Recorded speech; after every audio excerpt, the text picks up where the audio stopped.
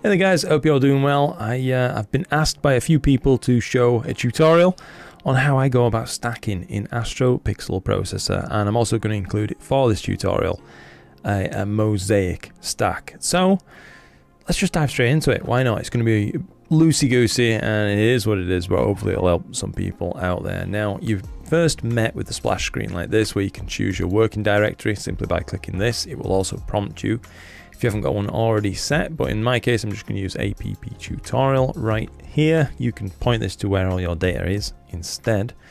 It will ask you if you're doing multi-channel and filter processing. I'm not. Multi-session processing. I'm not. Uh, an auto detection of masters and integrations. I don't need that either right now. So it's going to ask for a name of what we're stacking. So in this case, it's going to be the lobster claw. Nebula. Um, now you can see we've got the option here for clicking these little boxes and loading in our frames. So I'm going to do that straight away, hit light and navigate over to where my frames are. So they're on the one terabyte drive, Artemis, lights. And if I just click one of them, hit control and A, that's everything selected as you can see. Go ahead and hit open. Make sure you haven't opened thumbnails and things like that as that could throw things off slightly. My flats now, going to do the same kind of thing, so just navigate to wherever my flats are. Control and A, get all of those opened. My darks, same sort of thing. And in this case, because I'm using a IMX294, the Artemis C Pro, I need to use dark flats, so I will use those rather than opening them in the bias. Uh, if you had the normal standard bias frames that you needed to use, you'd just click it in there and leave dark flats uh, un selected instead. Now, you've got multiple options on here. I really have never honestly needed to use them very much, but you can sort your frames out on this from uh, best to worst or worst to best. Um, but anyway, I used to think, I will go through this because this is a mistake that I made early on. I used to think that when you started with APP, you need to go through each and every single one of these tabs, one, two, three, four, five, until eventually you got to integrate tab right here on number six, and that's not true. If all you want is a very simple integration, uh, just like all defaults kind of thing, just jump straight from loading your frames in over to integrate, scroll down and hit integrate quite literally and it will tell you if you're missing any settings that you really obviously need for the type of image that you've got. But as this is a little bit of a tutorial, um, I will just take you through what each of these tabs looks like and point out anything that I've actually had to use myself. So to be honest, I haven't had to use any of these really in the uh, calibration window. Now analyze stars, I have sometimes had to mess with this ever so slightly. If you notice that once you've stacked an image, it's not been quite perfectly accurate with its alignments. Uh, you can really sort that out. Generally speaking, it's from using too many stars. So I sometimes drop this right down to 100 stars uh, and you can also use the cosmic ray and noise reducer. So it should noise reduce the images uh, before figuring out the star positions effectively. So it doesn't get confused with noise patterns um, between your frames or any correlating noise from hot pixels and things like that and stacking on those instead which can happen but it doesn't if you tick that. That's one setting that I have used. Um, over on the registration tab now number four Again, I really haven't needed to mess with much of this except for if I'm doing a mosaic. Uh, in this case, which I am. So not sometimes if you're doing a mosaic with different um, gear or maybe you and a friend have compiled data together, you might need to untick same camera and optics. I will probably need to use dynamic distortion correction, but I'm going to deliberately leave it unticked for now because I'm going to show you the fact that it can prompt you to select things at the end, right as you're about to hit stack. Uh, it's a good time saving feature. I have noticed rather than going through each one of these and selecting them, just let it prompt you at the end. Now registration mode, in my case, if you're just doing a normal integration, just don't touch this, just leave it on normal. Um, I will be doing a mosaic integration for this, so I'll go ahead and tick that. Um, and that is about it for number four. So over on the normalization page, generally speaking, always leave that unticked. You want it to perform normalization of your light frames. Um, I haven't really needed to mess with anything else on there. I'm just going to be honest with you. Uh, why uh, why muddy the waters? And now on the, the, the tab where the magic really happens over on integrate. Um, if you were stacking, let's say, multiple different filters, LRGB data, that kind of thing, or SHO or whatever, you'd have the option here to integrate per channel, integrate all, or integrate per channel and all. So it'll do both and save you everything out individually. That's usually the way I, I go uh, for things because then you've got the option for everything. It leaves you, uh, you know, all your bases covered and multi-session options so you can integrate per session or integrate all your sessions together uh, or do both. So those are your options. As I unticked those on the first page, if I just show you real quick, those two options right there, they are grayed out. For me, over on integrate, um, you can select the amount of lights that you want to stack over here. So let's say you want to be quite selective and go with just 84% or whatever of the amount of data that you captured, you can do that just by selecting over there. But if you've already gone through your frames, and you know that everything's good. No reason you can't just leave that up to max. Okay, no harm done. Now the type of integration, it'll come on as automatic. Generally speaking, just leave it on automatic. If you really need to change it, it you tend to probably just be changing it to averaging. Uh, in my experience, now you'll notice local normalization rejection is currently unticked. Um, you are going to want that. So if I just uh, select this as average right now, uh, and you notice this is now ungrade this option for me, so I can now select. Oftentimes it will Winsorized. Uh, I tend to go with adaptive though if I've got quite a few frames to stack. That seems to work better. It uses a combination of Sigma, Winsorized, and MAD. Um, and then at that point, you tick local normalization rejection, and that will then apply that when it's integrating. The composition of the frames, this is what your output's going to look like. So I usually just leave it on full. I'm going to be real with you, but you could just have it just on the reference image. So, uh, or you could just have it on the crop of the kind of intersection of all of the light frames. I just go with full because I'm going to crop it myself afterwards. Now local normalization correction is another thing that's automatically turned off. But in many cases I do run it just on a first degree and especially you really do need to run it if you're stacking a mosaic. Sometimes you'll need a little bit stronger too, so maybe a second degree or whatever. And the amount of iterations I often just leave as is.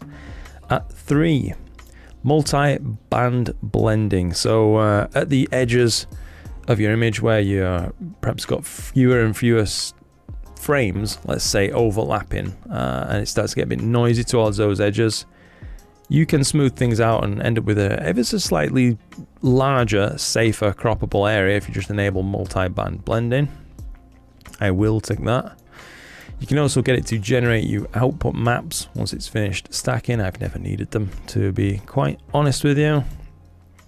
And uh, here we are, we've got options for drizzle integration right here. So uh, it works a little bit different to something like Deep Sky Stacker where you just tell it do a two times drizzle and it'll take care of it for you. You instead can set the droplet size on this. So a smaller droplet is going to give a sharper but noisier result. And it goes in reverse. Also, if you go with bigger droplets, it will be less sharp, less noisy, basically. Um, but I think one of these drop downs, uh, if you just kind of mouse over them, it does give you a brief description uh, of each and every tool in here. So if you've got a lot of time, you could go ahead and read all of those.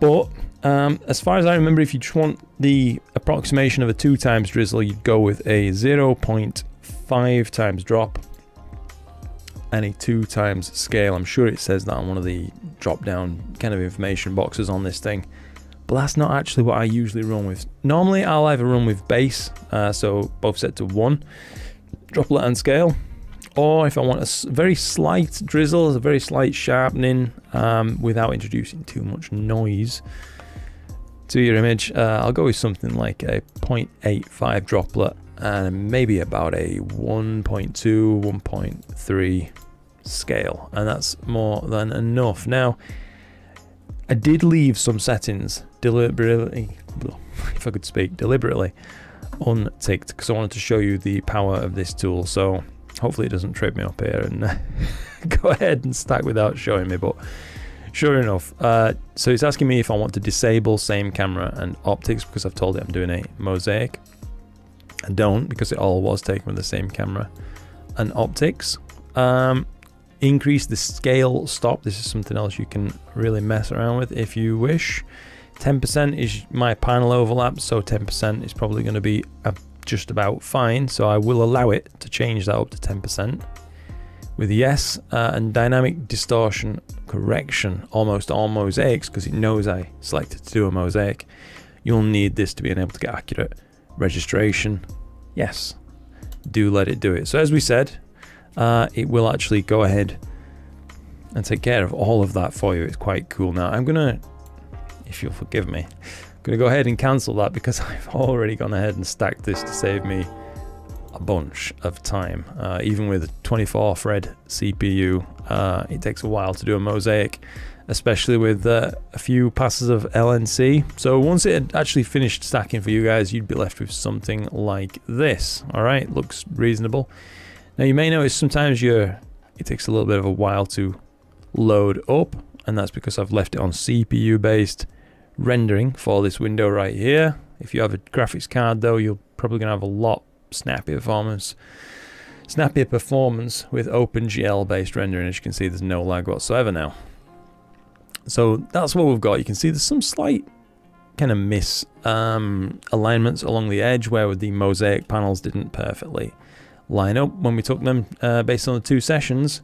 So I'm going to open up the tools window and I'm going to crop to begin with. So yes, I do want to crop the image in the window, get the whole image visible, and then you can scroll in and out to alter the level of zoom that you need for this operation. And just by holding onto the left mouse button, dragging a green box over the area that you actually want to crop, and then hitting crop, you can go ahead and save that.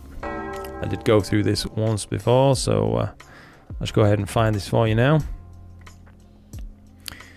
That's what we've got right now. So you can see between the two panels, this was a, uh, a top and bottom mosaic. You can see a bit of a difference between the background values. So this top panel was taken with no moon, this bottom panel was taken with about 50% moon or something like that. So you can see the background is quite a lot brighter, separated by this almost line here. And also across the whole image is a bit of a gradient going from darker in this top left corner to brighter in this bottom right. Now, I'm going to be honest with you, Astro Pixel Processor, one of its key features that I absolutely love it for is this tool right here, remove light pollution. It's like PixInsight's DBE tool, if you like, uh, on steroids. It just seems to work so much better. So what you basically do is using your left mouse button, just like we drew that kind of crop window, you're going to want to select all the areas of background that you can so that it can generate a